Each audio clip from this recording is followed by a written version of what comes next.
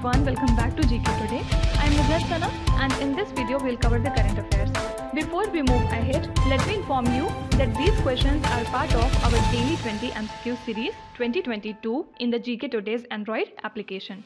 So if you're looking for the text version of these questions and their explanations along with the interactive quiz, you may consider joining our Daily 20 MCQ series in the GK Today Android application.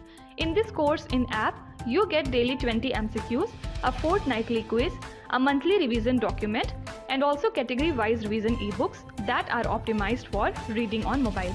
You are also able to access all archives of questions from January 2020 onwards. And let me tell you one more thing if you want the Hindi version of this session, you can refer to our former channel named as GK Today. The link has been given in the description box from where you can reach to. So without taking much of your time, let's get started. Good morning everyone. Welcome back to GK Today. And today we'll be discussing most important MCQs for 12th of August 2022. Let's start. V Pranav, who was seen in the news recently, is associated with which sports? So he is a Chennai based chess player and recently he became India's 75th Grandmaster by winning a tournament in Romania. Okay. So he is just 15 years old and he won the Limpedea Open in Romania. So he secured his third and final GM norm in this and finally he attained the Grandmaster title. And also he finished the tournament with 7 points from total 9 rounds. Okay. And don't forget that V Pranav is also the 27th Grandmaster from the state of Tamil Nadu. Okay. So if you talk about the state, then he is the 27th Grandmaster of Tamil Nadu, while overall he is the 75th Grandmaster of India. Okay. So he is related to chess. Next is the world's highest railway bridge is located in which Indian state or the Union territory. So the Chenab Bridge is the world's highest railway bridge which is located in the Union territory of Jammu and Kashmir. And the steel arc of this bridge was completed last year while the over arc deck is set to be completed soon. Okay. So another milestone of this bridge will be achieved when the over arc deck of the Chenab railway bridge is completed with a golden joint. Fine. So the world's highest railway bridge lies in Jammu and Kashmir. Next is Parvaz, which was seen in the news recently, is a market linkage scheme implemented in which state or the union territory. So this scheme was launched by the government to create the market linkage support for the shipment of agriculture and the horticulture perishables that are harvested in the Union Territory of Jammu and Kashmir through air cargo. Okay. So under the scheme, 25% subsidy on freight charges is given for carrying the perishable fruits that are harvested in Jammu and Kashmir. Okay. So this is a market linkage scheme from Jammu and Kashmir. Can you tell me which state or union territory hosted India's very first lavender festival? Do let me know in the comments. Next is when is the National Handloom Day celebrated in India? So this day is observed on 7th of August to commemorate the launch of Swadeshi movement in the year 1905. So Prime Minister Narendra Modi announced 7th of August as the National Handloom Day in the year 2015 and the Government of India is implementing various schemes. For example Handloom Weavers Comprehensive Welfare Scheme then National Handloom Development Program Yarn Supply Scheme and the Comprehensive Handloom Cluster Development Scheme. Okay? So only thing you have to remember is National Handloom Day is observed every year on 7th of August. Next is, which is the venue of International Telecommunication Union's Regional Standardization Forum for Asia and Oceania region? So this forum for Asia and Oceania region is hosted by New Delhi and Union Communications Ministry hosts the forum on the theme of regulatory and policy aspects of telecommunications. So over 250 delegates from 20 countries will participate in this forum that is to take place in New Delhi. Fine. Next is what is the position of India in the 2022 Commonwealth Games. So India finished fourth on the podium at the Commonwealth Games 2022 with a medal tally of 61 including 22 gold, 16 silver and 23 bronze. Okay. First country was Australia with total 178 medals in which 67 were gold. Next is England at second position England has earned total 176 medals and it contains 57 gold. And third position was occupied by Canada. Canada has total 92 medals in which 26 were gold. Okay. And fourth position was occupied by India. So this Birmingham Games is India's fourth best performance at the Commonwealth game and wrestlers contributed the most to the medal tally of India with all 12 of them clinching the medals. Okay. Don't forget that Sharat Kamal, who's the 40 year old table tennis star, was the most successful Indian athlete with total 4 medals including 3 gold. Okay. So you can be asked that Sharat Kamal is associated with which sport? Answer would be table tennis. Next is Gustavo Petro has been sworn in as the president of which country? So he is a former rebel fighter and recently he has been sworn in as the first left-wing president of the South American country Colombia. Okay. And he promised to fight inequality in the country which is hit by a long war between the government and the guerrilla groups. And also he promised to fight against the inequality and the climate change and achieve the peace with the rebel groups and the crime gang. Okay. So only thing you have to remember is Gustavo Petro is the new president of Colombia. Maybe you can be asked that who's the new president of Colombia. So name is also important. Don't forget the name of Gustavo Petro. Next is who was appointed as the first woman chief of the Council of Scientific and Industrial Research. So Dr. N. Kalai Selvi has become the first woman director general of CSIR means Council of Scientific and Industrial Research. So she will be the secretary to the Department of Scientific and Industrial Research and also she is the only fourth woman scientist to occupy the position of a secretary of the scientific department under the central government. Okay. So the first woman chief of CSIR is Dr. N. Kalai Selvi. Next is Janjati Mahotsav, which was seen in the news recently, is celebrated in which Indian state or the union territory. So Jharkhand Janjati Mahotsav is celebrated in the month of August and it includes the participation of artists from tribal dominated state including the northeastern states of India.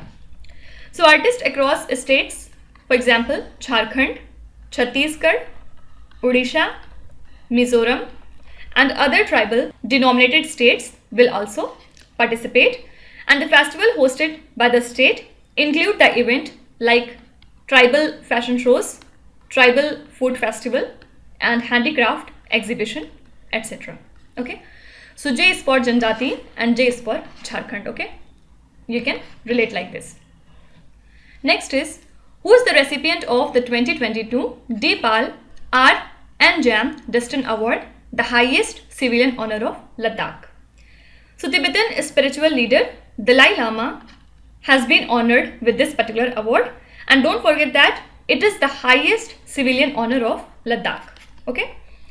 So the sixth award was conferred by Ladakh Autonomous Hill Development Council to Dalai Lama for his immense contribution to humanity and especially towards the Union Territory of Ladakh. Okay.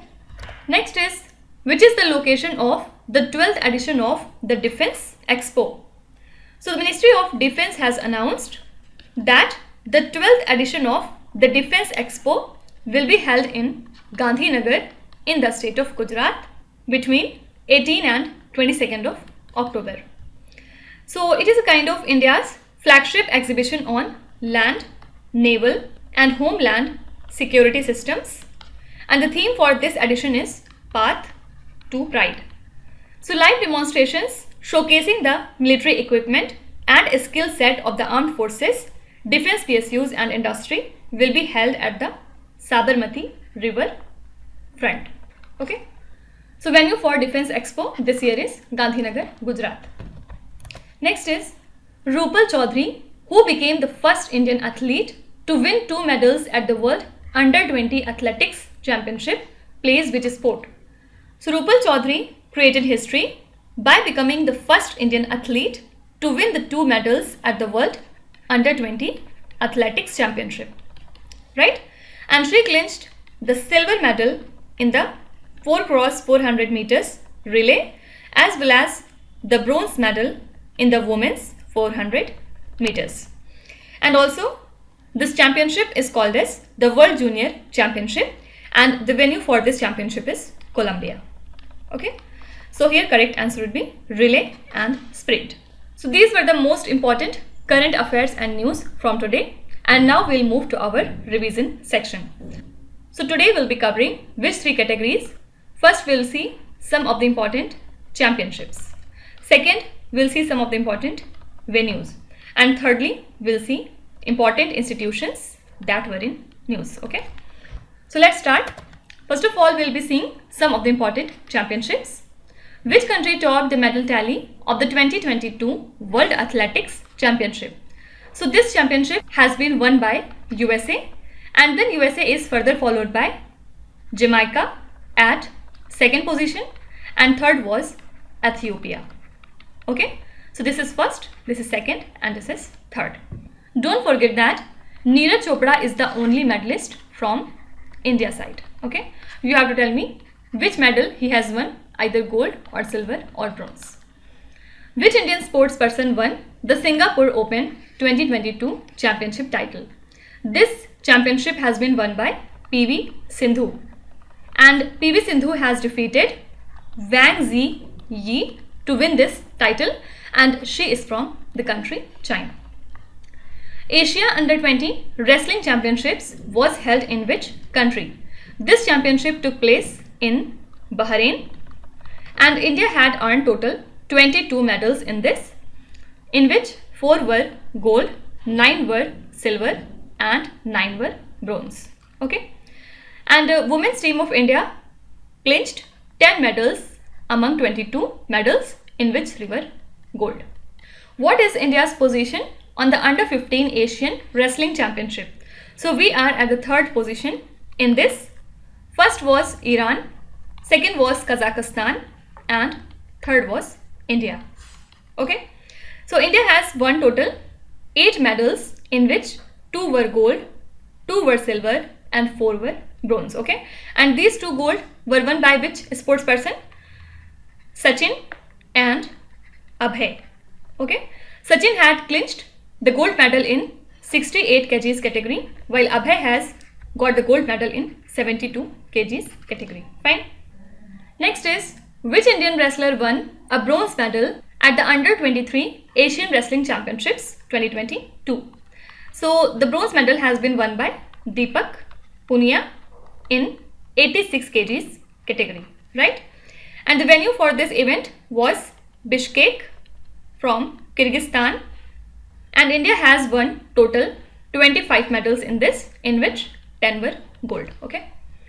Which state won the Hockey India Senior Women's National Championship 2022? So this championship was won by Odisha state. Second was Jharkhand.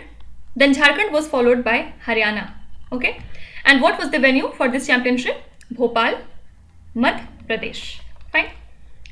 Who has won the 2022 Wangari Maathai Forest Champions Award? This award was presented to Cecily Ndjebet and she is from the country Cameroon.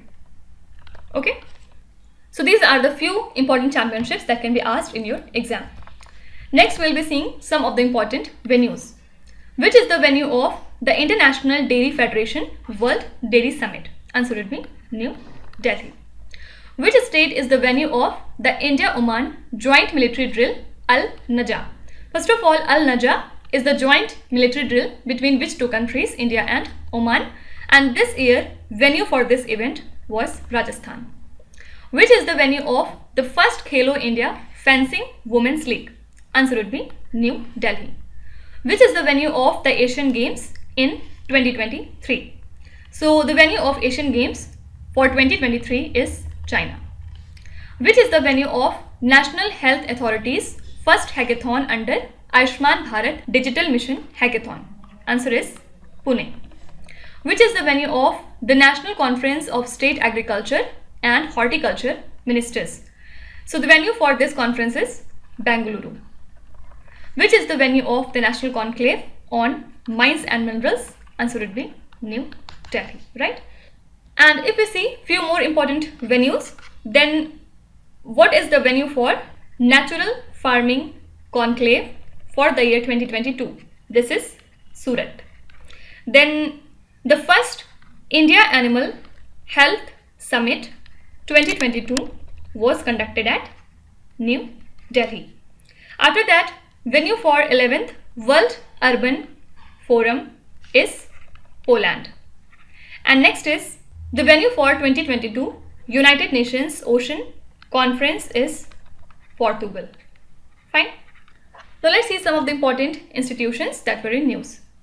Suresh N. Patel was appointed as the head of which institution recently? So he has been appointed as the head of Central Vigilance Commission recently.